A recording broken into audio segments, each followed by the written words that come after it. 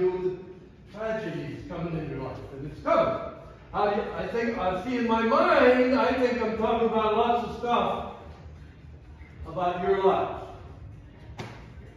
So the answer to the question in my mind, how did you do that? How did you do that for all those years? How did you do that? Is very simple. We did what we had to do. We did our best. We chose to grow through that experience. We kept our sense of humor, and we kept the faith. Faith in ourselves, faith in each other, faith in our country, faith in God.